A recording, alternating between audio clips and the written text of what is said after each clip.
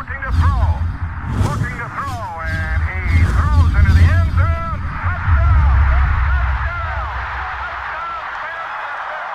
Familia Niner, nuevamente un placer saludarlos a todos y un gustazo darles la bienvenida a Canal 49, con la tercera y última parte de esta serie de episodios que titulé Revenge Tour, o la revisión de lo bueno, lo malo y cosas que desde mi perspectiva el equipo debe mantener y debe cambiar para mejorar la próxima temporada. En esta ocasión le toca a nuestros principales jugadores de rotación, quienes probablemente regresen de lesiones, equipos especiales y por último, el dueño de los San Francisco 49ers. Así que comenzamos.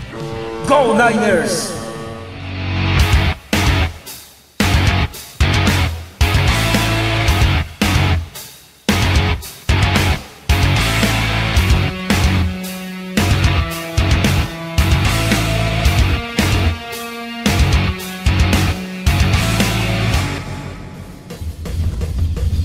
Como bien sabemos durante la temporada, en la mayoría de los juegos se presenta un equipo titular en donde vemos a jugadores inamovibles en ciertas posiciones, y en algunas otras a veces hay movimientos, pero durante los partidos constantemente estamos viendo cambios en el personal de un lado y del otro del balón, de acuerdo a lo que se desea en tal o cual jugada o situación en específico. Así que revisemos a estos jugadores no titulares que aportaron al equipo y que posiblemente tengan mucha más área de oportunidad para este 2020, y otros que tal vez ya no estén en el equipo para la próxima campaña.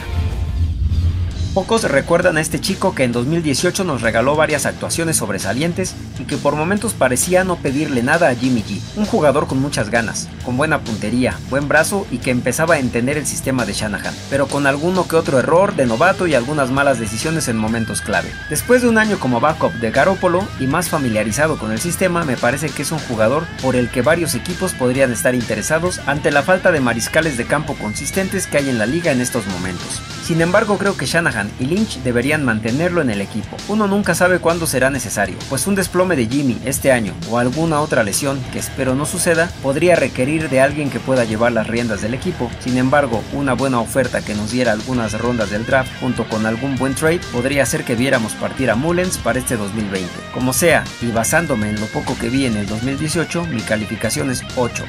Por el momento, se queda.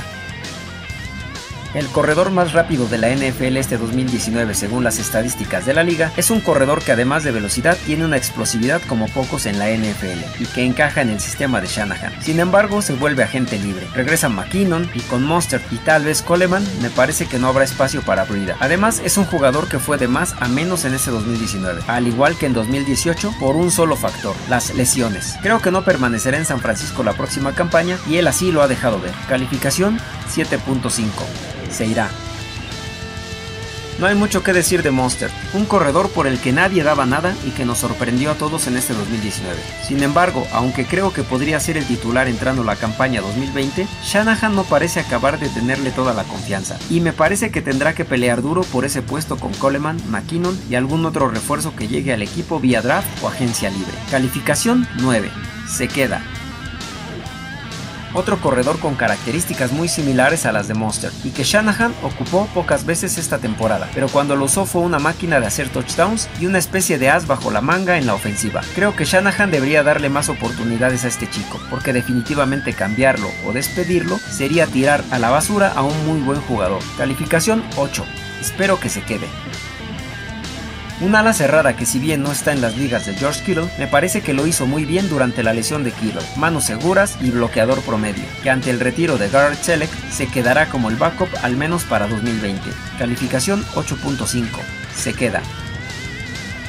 Hort fue un receptor con el que nos quedamos con las ganas de ver lo que podía hacer en este 2019. Este 2020 regresará de su lesión en la espalda baja y me parece que junto a Divo Samuel serán una dupla muy explosiva y ayudará muchísimo al ataque aéreo de San Francisco. Calificación 8. Se queda un receptor que al parecer ha decepcionado a Shanahan, quien aseguró que Dante ha dejado ir oportunidades, y es por eso que lo vimos prácticamente en cero jugadas en los últimos juegos de la temporada y todos los playoffs. Peris mostró tener argumentos en 2018, pero 2019 fue un desplome para él. Le quedan aún dos años de contrato, pero no me sorprendería si es dado de baja o canjeado por alguna ronda alta del draft. Un desperdicio, pues San Francisco movió mucho para adquirirlo en 2018. Calificación 6. Se va. Casi no se habla de James, a pesar de ser nuestro regresador de patadas de despeje titular y kickoff. Un chico rápido, con buenas manos, que cuando Shanahan lo utiliza como receptor, responde. Creo que deberían de darle más oportunidades a este chico y no solo ponerlo a regresar patadas. Pero bueno, quiero pensar que nuestro coach ve cosas que nosotros no. Como sea, a menos que llegue algún fenómeno regresando patadas, me parece que permanecerá en el equipo. Calificación 8. Se queda. Un muy buen elemento, que ha resultado un arma importante para Jimmy en zona roja. Nos costó muy poco y dio buenos números en el campo. Se vuelve agente libre y creo que San Francisco debería pujar por mantenerlo en el equipo a menos que ya se tenga algo mejor en mente. Creo que este chico con un poco de trabajo en el gimnasio y la experiencia que ha obtenido podría dar un paso importante en este 2020. Calificación 8. Espero que se quede. Nuevamente un wide receiver. Llegó al equipo en 2017 y el tiempo que estuvo en el campo mostró cosas interesantes como slot, pero las lesiones lo han mantenido fuera del campo y realmente a estas alturas no sé qué esperar de él y no sé si una nueva lesión haga que Shanahan decida dejarlo ir a pesar de tenerlo bajo contrato una temporada más. Esta temporada será crucial para Taylor, pues en esta liga constantemente llega talento joven y la agencia libre podría poner en peligro su estadía en el equipo. Calificación 6. Por el momento se queda. Otro receptor y aquí uno que nos cuesta mucho y que realmente produce muy poco. De mantenerlo este año nos costaría cerca de 4 millones de dólares y en 2021 más de 5. Complicado el asunto de Goodwin en el equipo. Creo que San Francisco debe buscar transferirlo. Con 29 años aún se puede buscar una tercera ronda de draft y o algún jugador vía trade. Un jugador que entre problemas familiares y lesiones nunca juega y cuando juega no produce lo que cobra. Así que de verdad espero que Lynch sepa engañar a alguien y obtenga algo bueno por él. Calificación 6. Espero que se vaya. Bedard es un jugador que está en el equipo porque tiene corazón y porque la organización ha decidido apoyarlo con sus problemas personales. Sin embargo, creo que es hora de dejarlo ir. Un trade es el camino más viable, pues aunque le queda un año más con la organización y en el papel no es tan caro su sueldo, no tiene mucho sentido tenerlo en la plantilla. Una quinta ronda del draft nos vendría muy bien. Bedard es un gran chico, pero creo que nos servirá más vendiéndolo que quedándonos con él. Calificación 5 de verdad, espero que se vaya. Un liniero defensivo que aportó mucho en la rotación de San Francisco esta temporada, aunque solo jugó 9 partidos debido a su lesión. Registró 21 tacleadas, 3 capturas y un fumble recuperado. Un buen elemento, pero que en una línea tan talentosa no tiene mucha cabida, sobre todo porque se vuelve agente libre sin restricciones en este 2020, y creo que San Francisco no hará mucho por mantenerlo en el equipo. Calificación 7.5. Se va. Proveniente de una gran defensiva en los Jaguares, Day llegó a San Francisco en 2017, esperando ser un fenómeno en la línea defensiva, pero no ha sido así, pues aunque es un buen elemento contra la carrera y ayuda mucho en la rotación, este 2019 solo registró 10 tacleadas y una captura de coreback. Se vuelve agente libre sin restricciones y aunque me gustaría verlo un año más en San Francisco, creo que no será así. Calificación 7. Presiento que se va. Jugador que jugó realmente nada, pero no sé por qué creo que tiene mucho talento. Solo firmó por un año y con la lesión no pudimos ver más de él, pero ante la posible salida de Blair y Day, creo que pensar en retenerlo no sería mala idea, pensando en jugadores de rotación el próximo año. Calificación, basado en lo poco que vi, 8. Espero que se quede una primera ronda del 2017 que en realidad pareciera ser una quinta, pues en tres años en el equipo no ha sido ni de cerca lo que se esperaría de una ronda tan alta en el draft. Este 2019 lo hizo mejor a secas, pero como hombre de rotación. Cuesta mucho el muchacho para lo que produce, y con un año más de contrato, creo que es hora de buscar un trade por él, a algún equipo donde juegue en un sistema 3-4, que es donde me parece funcionaría mejor. Obtener alguna tercera ronda de draft o algún buen jugador en línea ofensiva o perímetro, o en el último de los casos, reestructurar su contrato porque Thomas, aunque podría seguir funcionando como rotación, cobra como si fuera una estrella. Calificación 7. Cruzo los dedos para que se vaya. Otro liniero defensivo que es una gran incógnita. Las lesiones son su peor enemigo, pero creo que Sano es un buen elemento para la rotación en la línea defensiva. Afortunadamente le quedan dos años más de contrato y no es alguien que resulte tan caro para el equipo. Así que este 2020 debe ser el año donde dé un paso y elimine las lesiones. Calificación 7 se queda. Liniero defensivo que tiene todo para ser una estrella en la liga, pero las lesiones no lo dejan avanzar. Este año regresó a jugar un partido y fue todo. Se volvió a lesionar y quedó nuevamente fuera. San Francisco debe parar de firmar jugadores lesionados o que vienen de alguna lesión, pues termina siendo dinero tirado a la basura. Como dicen por ahí, lo barato sale caro. Sin embargo, Street todavía tiene un par de años con San Francisco y realmente no sale tan caro. Además, tomando en cuenta que necesitamos rotación para 2020, esta será su última oportunidad en el equipo seguramente. Calificación 6. Se queda. Aquí hablamos de un jugador que por el centro fue tal vez el mejor siendo disruptivo y presionando a los corebacks entrando como rotación. Muy explosivo y con un centro de gravedad tan bajo que los linieros ofensivos tardan en reaccionar y tienden a perder un paso. Una lesión lo dejó fuera de la temporada, pero creo que será realmente importante en este 2020 y lo mejor es que aún está bajo contrato. Calificación 8.5. Se queda. Un esquinero que en algún momento fue seleccionado al Pro Bowl cuando jugaba en los Chargers. Sin embargo, desde que se lesionó no ha sido ni de cerca lo que en algún momento fue. Habrá que evaluarse en el offseason si podrá estar al 100% para el 2020. Y de ser así, buscar darle un contrato por un año, pero no por mucho dinero, ya que en este 2019 se llevó casi 2 millones por no hacer prácticamente nada, más que ser quemado en dos jugadas contra Pittsburgh. Sin embargo, veo realmente difícil su permanencia en el equipo. Calificación 5. Me parece que se va.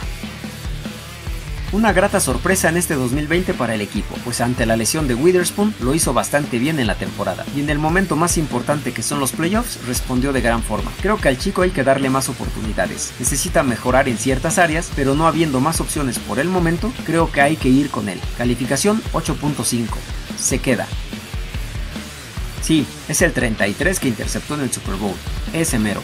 Sin embargo, tampoco ha aparecido mucho en el terreno de juego, pero creo que este 2020 será una gran oportunidad para los esquineros de San Francisco buscando ocupar el lugar de Witherspoon y tratando de ganárselo a Mosley. Moore parece tener todo físico-atléticamente hablando para ser un gran esquinero en la NFL. La pregunta es si está listo o no para dar ese paso. Calificación 7. Se queda. Un esquinero de sexta ronda en 2019 es una completa incógnita. Se lesionó en la pretemporada y no sabemos nada de él a nivel profesional. Egresado de Virginia, solo sabemos que es un buen tacleador y que registró 4 intercepciones en 6 años como colegial. Lo tenemos hasta el 2022 por poco más de 2 millones y medio. Así que esperemos verlo en el campo este año y que aporte de verdad. ¿Calificación? No tengo idea. Se queda, obviamente. Safety que pareciera por momentos ser muy bueno, pero en otros muy malo. Sin embargo, podría pensarse que será quien ocupe el lugar de Jimmy Ward si es que San Francisco por fin lo deja ir. Pero Harris tampoco creo que sea la respuesta. San Francisco debe buscar algo en el draft o vía agencia libre para cubrir esta posición, en caso de dejar partir a Ward. Marcel tiene contrato hasta 2021 con los Niners. Calificación 6.5. Se queda. A grandes rasgos, en equipos especiales las posiciones de pateador de despeje, regresador de patadas y long snapper están cubiertas. La gran incógnita es nuevamente Robbie Gould, quien desde el año pasado estuvo en una telenovela con el equipo y que claramente ya no quería estar en la organización. Se usó el tag de jugador franquicia para retenerlo, pero este año creo que ese tag irá para Arik Armstead, lo cual nos deja en una situación difícil para retener a Gould, quien nos costaría poco más de 4 millones en 2020. El veterano de 38 años ha bajado su nivel y creo que es momento de dejarlo ir. La pregunta es, ¿quién ocupará su lugar? Calificación 8. Creo que se va. El dueño del equipo ha hecho un gran trabajo desde que trajo a Shanahan, Lynch y compañía, y no solo por el hecho de traer a gente competente a la organización, sino por el hecho de haber aprendido de los errores del pasado y dejar de entrometerse en los asuntos internos del equipo. Confiar en su gente y dejarlos trabajar ha sido el acierto más grande de York desde que tomó las riendas del equipo. Si continúa de esta forma, este equipo se mantendrá en los primeros lugares de la liga por años, y quién sabe, pero York podría colgarse al menos un Vince Lombardi en los años venideros. Calificación 10 se queda simple y sencillamente porque nadie puede correr al dueño.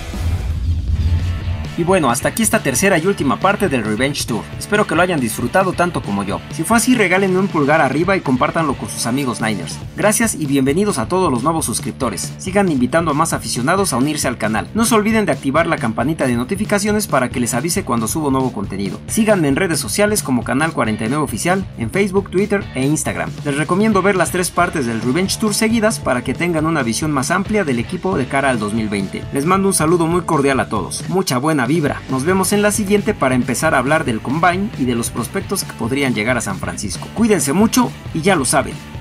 ¡Go Niners!